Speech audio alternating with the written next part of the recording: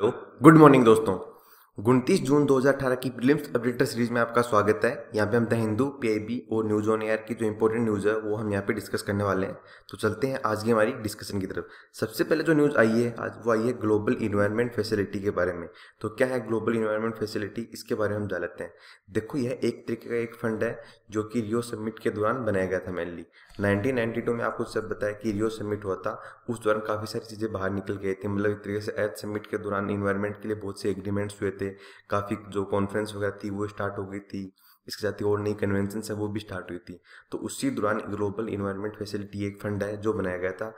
इसका मेन काम ये है कि इन्वायरमेंट के लिए जो कुछ प्रोजेक्ट वगैरह होते हैं ना, उनको एक तरह से फंड वगैरह देना। क्योंकि ये बार क्या होता है कि इन्वायरमेंट के लिए कुछ प्रोजेक्ट होते हैं, उनको फंडिंग नहीं मिल पाती है। तो इसलिए काम अधूरा रह जाता है और इसी दिशा में ग्लोबल इन्वायरमेंट फैसिलिटी फंड है। यह बनाया गया था। तो अब इसके बारे में चलते हैं, कुछ बेसिक फैक्ट हम जान लेते हैं। कंटेक्स्ट क्या है? पहले तो आपको वो बता दूँ। कंटेक्स्ट ये है कि अभी इंडिया जो इसके अंदर अपना पैसा देता था कॉन्ट्रीब्यूशन देता था कि भाई पहले देते थे बारह मिलियन डॉलर बारह लाख मिलियन डॉलर अभी इन्होंने बढ़ा के कर दिया, पंद्रह लाख मिलियन डॉलर की बात यहाँ पे की गई है। तो कंटेक्स कुछ इस प्रकार था, जो हमने यहाँ पे देख लिया। अब देखते हैं आगे। अगली जो बात हम करते हैं यहाँ पे इसकी बेसिक फीचर्स की, वो ये है कि 1992 में तो अर्थ समिट के दौरान बनाया गया था। काम क्या था? काम से ये था कि जो भी इन्वायरमेंटल प्रॉब्लम है, इनसे निपटना है, इनसे निपटने के लिए हमें कुछ ना कुछ पैसा चाहिए कहीं ना कहीं प्रोजेक्ट के लिए और वो यहाँ से हमें मिलेगा।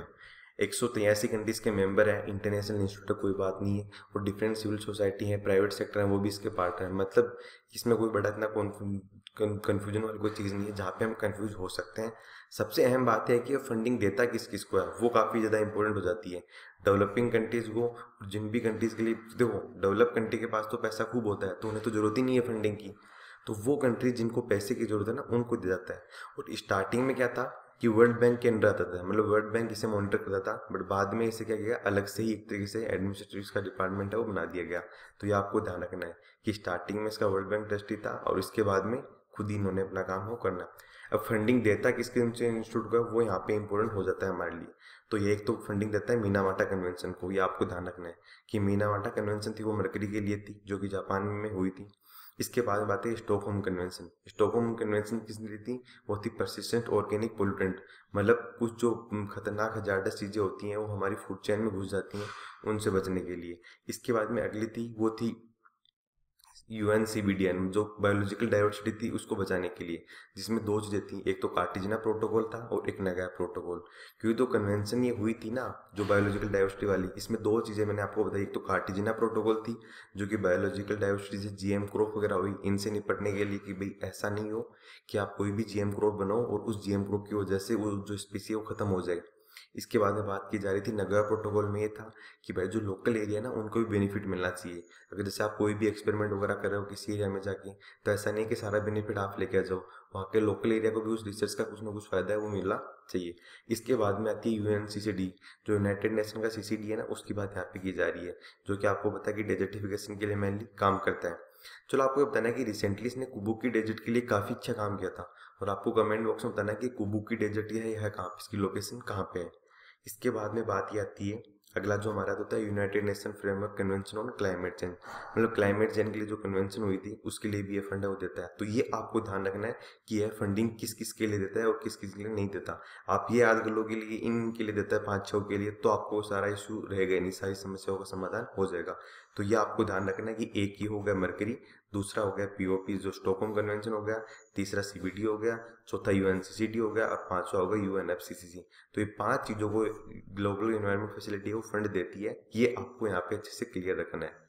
देखो बेसिकली बताऊँ तो ये 1992 से पहले बना हुआ था बट 1992 से पहले क्या था वर्ल्ड बैंक के अंडर आता था और इसका थोड़ा स्ट्रक्चर था, वो थोड़ा अलग था बट 1992 में जो ही अर्थ समिट हुआ तो इसके दौरान इसकी स्ट्रक्चर वगैरह बदल दी गई और इसकी जो ओनरशिप है वो भी चेंज कर दी गई थी तो इसलिए बाद में प्रॉपर ढंग से इम्प्लीमेंट हो पाया था। अब चलते हैं हम आगे। अगला जो आर्टिकल हुआ है स्कोच अवार्ड के बारे में। तो क्या है स्कोच अवार्ड इसके बारे में हम जान लेते हैं पहले। कंटेक्स्ट क्या है, वो भी मैं आपको बता देता हूँ। देखो कंटेक्स्ट ये है कि आपको पता है कि सागरमाला प्रोजेक्ट इंडिया में चल रहा है और उस सागरमाला प्रोजेक्ट को गोल्ड अवार्ड दिया गया है स्टोक अवार्ड के तहत। तो हम देख लेते हैं कि है क्या। देखो स्कोर जो अवार्ड है, ये बेसिकली ह्यूमन एक्सीलेंस और जो एजेंट जिन्होंने इंडियन सोसाइटी के लिए अच्छा काम किया है, उन लोगों को दिया जाता है मेनली उन इंस्टीट्यूट वगैरह को। ये आपको यहाँ पे ध्यान रखना है। मतलब ह्यूमन एक्सीलेंस के लिए जिसने अच्छा काम किया है, या फिर एक तरीके से एजेंट के तौर पर काम किया है इंडियन सोसाइटी के लिए, उन्हें यह अवार्ड है, वो दिया जाता है। रिसेंटली हमने डिस्कस भी किया था कि women and child development ministry को भी अवार्ड है, वो दिया गया है। आपको कमेंट बॉक्स में बताना है कि women and child development ministry को अवार्ड क्यों दिया गया? है क्योंकि अभी हमने तीन चार दिन पहले इस चीज़ को डिस्कस किया था तो आपको चीज़ें भूलनी नहीं है, आपको चीज़ें सब यहाँ पे याद रखनी है। साथ साथ रिवाइज भी करते हुए चलना है। इसके बाद में बात यह है कि सिविलियन ओनर्स का एक अवार्ड है, इंडिया का हाईएस्ट आप कल से बोल सकते हो कि सिविलियन ओनर का अवार्ड कौन सा है, वो आपको देना है स्कोच अवार्ड है, उसकी बात यहाँ पे की जा रही है। और सबसे अहम बात ये दिया किसको जाता है, वो कन्फ्यूज़न वाला थोड़ा आपको कर सकता है, क्योंकि यूपीएससी से ओनली वाले स्टेटमेंट पूछते हैं तो वो यहाँ पे सही हो रहा है कि ओनली एंड यूज़र डिपार्टमेंट और डोमेन मिनिस्ट्री जो भी एंड यूज़र जैसे कि मिनिस्ट्री के अंदर कोई डिपार्टमेंट आएगा पर्टिकुलर काफ़ी इंपॉर्टेंट उस डिपार्टमेंट को दिया जाएगा या फिर उस मिनिस्ट्री को दिया जाएगा। बाकी और किसी को नहीं देता, जैसे कि आप वो इंडिविजुअल पर्सन वगैरह को अवार्ड है, वो नहीं दिया जाता है। ये चीज़ आपको यहाँ पे ध्यान रखने की अवार्ड दिया किसको जाता है? ओनली इंडिविजुअल डिपार्टमेंट या फिर मिनिस्ट्री है, उससे रिलेटेड वो डोमेन मिनिस्ट्री उसको ये अवार्ड है, वो दिया जाएगा। ये आपको यहाँ पे ध्यान रखना है।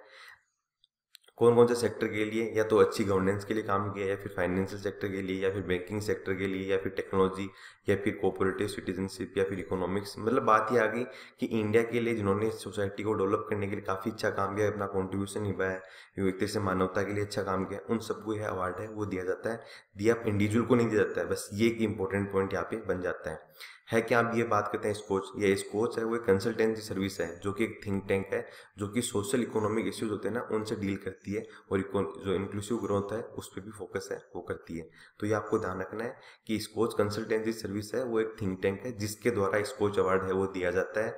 आप बोल सकते हो कि ह्यूमन एक्सीलेंस और इंडियन सोसाइटी के लिए काफ़ी अच्छा काम करने वालों को अवार्ड दिया जाता है। इंडिविजुअल को बिल्कुल भी नहीं दिया जाता है, ये सबसे इंपॉर्टेंट बात ही है। बाकी इसमें कोई इतना बड़ा कॉम्प्लिकेटेड है नहीं, जो आपको कन्फ्यूज़न भरा लगे तो जो सागरमाला प्रोजेक्ट के लिए बेसिकली है अवार्ड है, वो दिया गया है। अब चलते हैं आगे। अगली जो न्यूज़ आई है, वो आई है वुमेन इंटरप्रेन्योरशिप प्लेटफॉर्म के बारे में।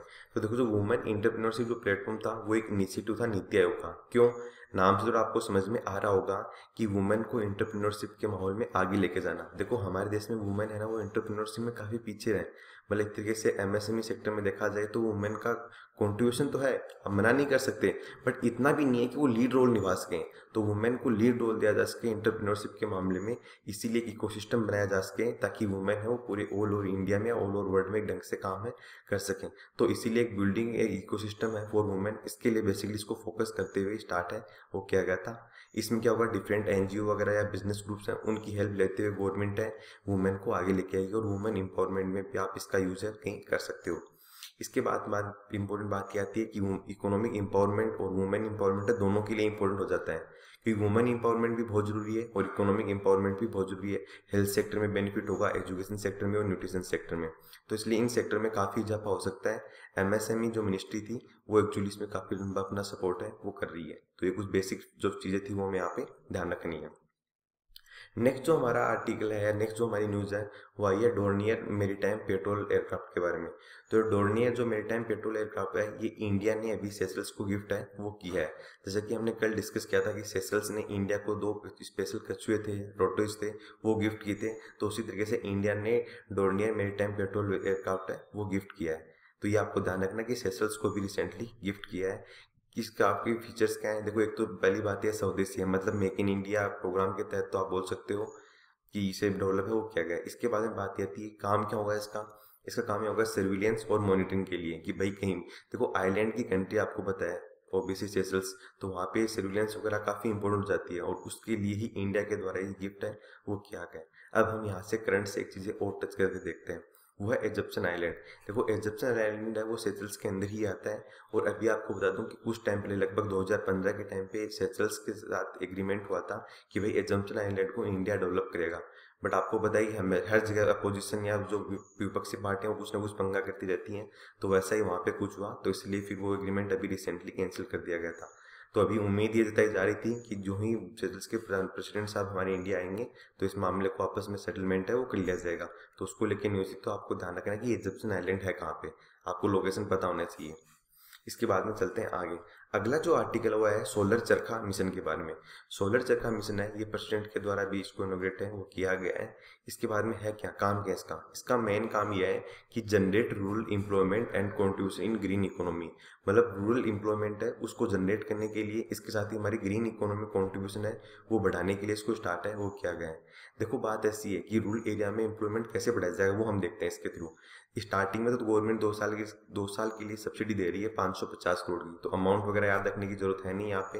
कि की दे है। अब इसका कॉन्सेप्ट कुछ ऐसे है कि गवर्नमेंट पहले बनाएगी क्लस्टर क्लस्टर का मतलब छोटे छोटे ग्रुप बनाएगी एक तरीके से।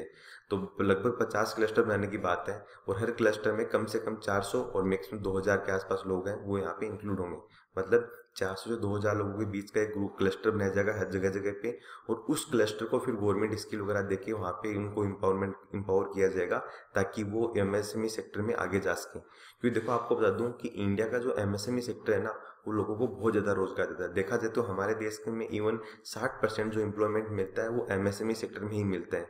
जैसा कि हमने कल परसों डिस्कस भी किया था कि एमएसएमई सेक्टर का क्राइटेरिया अलग अलग होता है। यूएन के कोडिंग तो होता है वो तो, तो है। एम्प्लॉय के आधार पे कि एक जगह दस एम्प्लॉय है फिर दस से ज़्यादा है फिर सात से ज़्यादा है। जबकि इंडिया का कोडिंग स्टैंडर्ड ऐसे है कि पाँच करोड़ तक का टर्न होता है तो वो अलग अलग क्राइटेरिया है। तो एमएसएमई सेक्टर के आधार मैक्सिमम लोगों को रोज़गार है वो देता है। तो अभी बात की जा रही है कि सोलर चरखा मिशन के तहत गवर्नमेंट क्लीन नहीं करते भी एक लाख जॉब है वो क्रिएट करने वाली है, ताकि जो भी एम्प्लॉयमेंट की समस्या है उसे निपटा जा सके। ये आपको यहाँ पे बेसिक चीज़ें ध्यान रखनी है।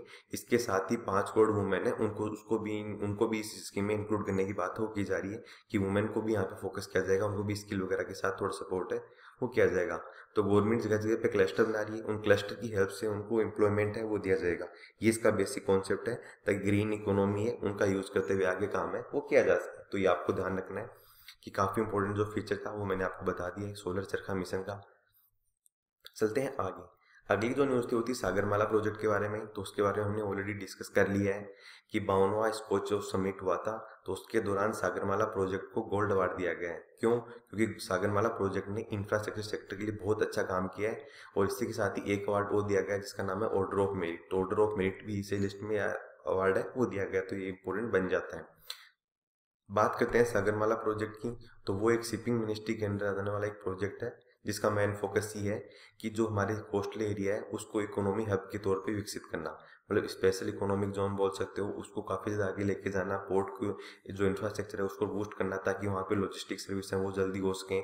और एक तरीके से आप बोल सकते हो कि हमारा जो पोर्ट है, वो वर्ल्ड के टॉप पोर्ट्स में काउंट हो, इसके लिए गवर्नमेंट उनका डेवलपमेंट है, वो लगातार कर रही है। तो एक तरीके से पोर्ट लीड प्रोग्राम है, जो कि लगभग सात हज़ार पाँच सौ किलोमीटर की जो हमारी कोस्ट लाइन है, उस एरिया को डेवलप करने के लिए बेसिकली स्टार्ट है, वो किया गया है। तो ये कुछ बेसिक फीचर्स थे या जो पॉइंट्स थे।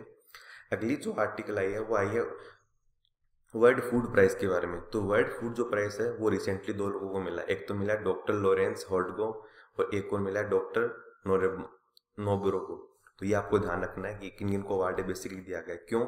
इनको अवार्ड इसलिए दिया गया कि इन्होंने अंडर न्यूट्रिशंस बच्चों के अंदर, इसके साथ ही वुमेन के अंदर जो माल न्यूट्रिशन की प्रॉब्लम होती है, उसके लिए काफ़ी अच्छा स्टेप है, वो उठाया ये तो हो गया हमारा यहाँ पे कंटेक्स्ट अब हम बात करते हैं वर्ल्ड फ़ूड प्राइस की. वर्ल्ड फ़ूड जो प्राइज है, ये एक्चुअली आप बोल सकते हो कि काफ़ी इंपॉर्टेंट ग्लोबल अवार्ड हो जाता है. तो इसके बारे में ध्यान में ध्यान रखना है.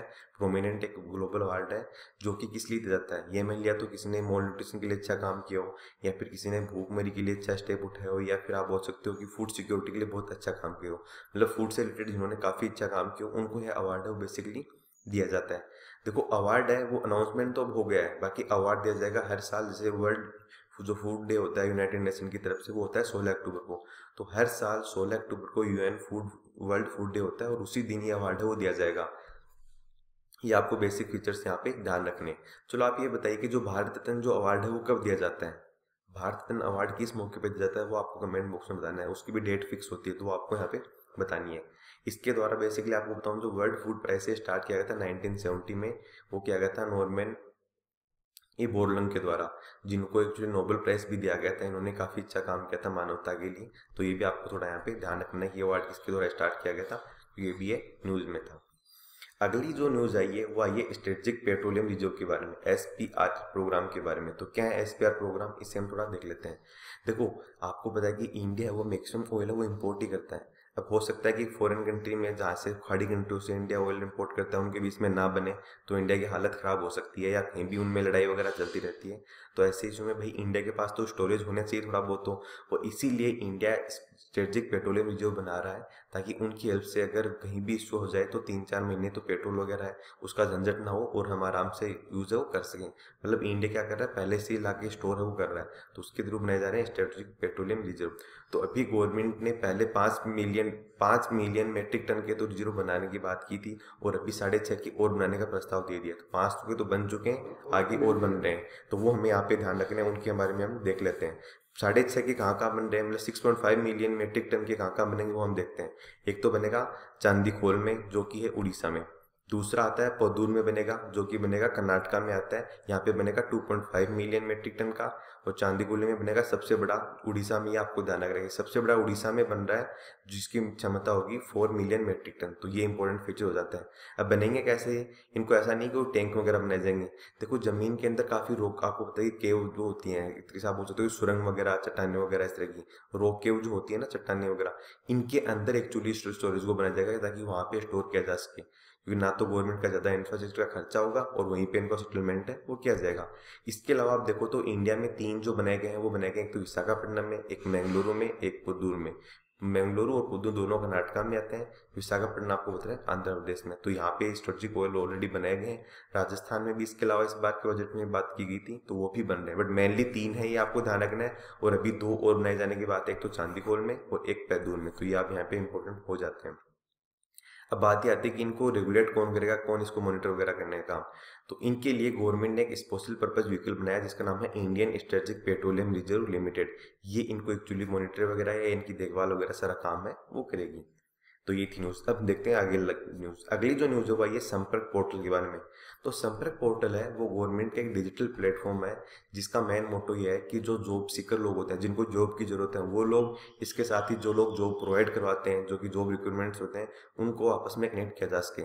जिस तरीके से आप एग्ज़ाम्पल ले सकते हो कि नौकरी जॉब नौकरी डॉट कॉम है, जो आप बोल सकते हो फ्री जॉब अलर्ट जैसे डॉट कॉम वेबसाइट है ना, उसी तरीके से गवर्नमेंट ने एक पोर्टल बनाया ताकि यहाँ पे जिन लोगों को रोज़गार चाहिए, वो अपनी क्वालिफिकेशन यहाँ डाल दो, और जिन लोग कंपनीज़ वगैरह जिन्हें एम्प्लॉय एम्प्लॉयर की ज़रूरत है, वो भी अपनी रिक्वायरमेंट यहाँ डाल दो। फिर जैसे डिमांड सप्लाई फुलफिल हो रही है, उसके अकॉर्डिंग वो अपना काम है, वो कर सकते हैं। तो इससे एक तो ये हो सकता है बेनिफिट होगा कि एक तो स्किल वगैरह भी मिलेगी, इसके साथ ही लोगों को रोज़गार भी मिलेगा तो इसके बेनिफिट होंगे तो ये आपको ध्यान रखना है कि संपर्क पोर्टल है, वो एक डिजिटल फॉर्मेट है डिजिटल पोर्टल है गवर्नमेंट का। तो इस तरीके की ये थी आज की हमारी डिस्कशन फ़िलहाल की डिस्कशन में इतना ही है तो thank you very much for discussion